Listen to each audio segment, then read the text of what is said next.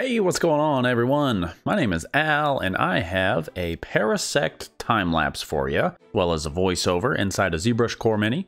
Before we get there, if you'd like to support this channel, check out my game Centroid, linked in the description below.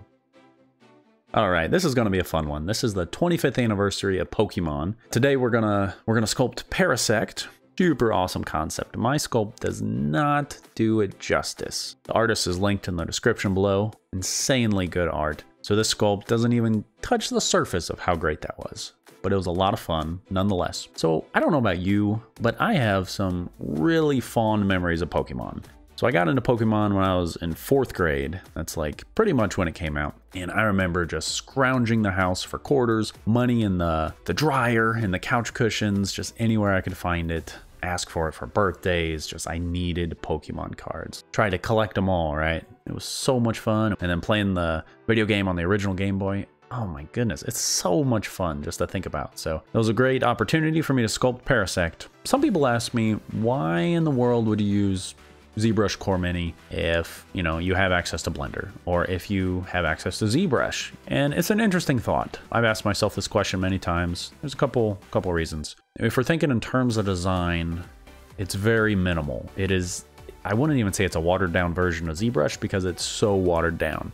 It is so different and it is incredibly watered down. But if you're designing something, sometimes a minimalistic approach really can be beneficial for many different reasons, whether it's a computer chair or a car, just anything, right? Sometimes these minimalistic ideas are beneficial. So in this case, when I'm on my lunch break at work, I can just load up ZBrush Core Mini and just go to town. It still feels better to me than Blender sculpting. So I typically sculpt on a Mac and Core Mini is much more responsive. It's just better. It's, I don't know, it's not bogged down sculpting wise. Now you can do far more in Blender and far more in ZBrush, but with as many limitations as there are in Core Mini, it really forces me to make some specific design choices with the, with this character. So yeah, I can't use like insert mesh brushes. I can't even add other objects in Core Mini. So I started from a sphere and I ended with what is Parasect that's just stretched out from a sphere.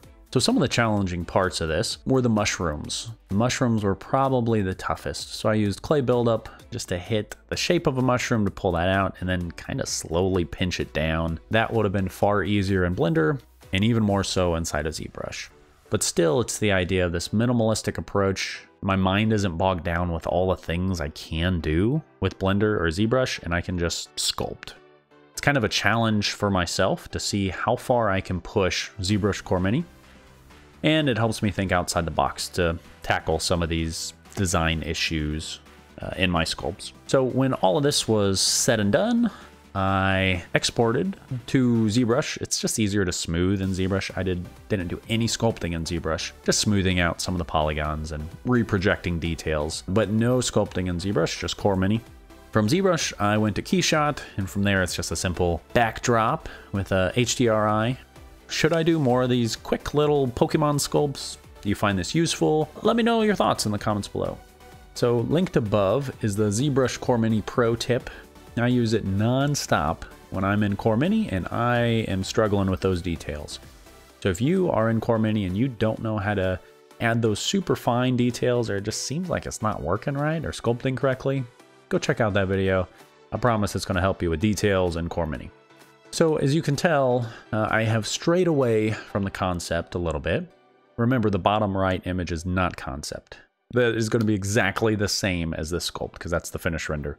I strayed away from the concept. Uh, my legs, the back legs are a little more like spider legs or something, but I like it. It works.